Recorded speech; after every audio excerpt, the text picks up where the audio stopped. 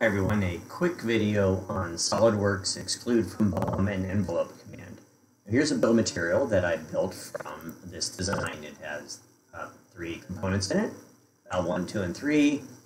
Um, and I use a BOM command and I got an OpenBOM a of material with valve 1, 2 in the manifold. Just what I expected. Now, in, um, in SOLIDWORKS, there are a couple of settings here. One is envelope, which includes, automatically includes exclude from bill of material. And then the other one is just exclude from bill of material. So these have a little different behavior. Be sure you understand how they work in SOLIDWORKS. Uh, OpenBOM respects each of those as it should. So if you, for example, set that manifold to be envelope, and then you build another bill of material, you will see that the uh, manifold is not in the BOM. So uh, anyway, I hope you find that useful. That is the um, that is the influence of SolidWorks properties envelope and exclude from bill of materials on OpenBOM.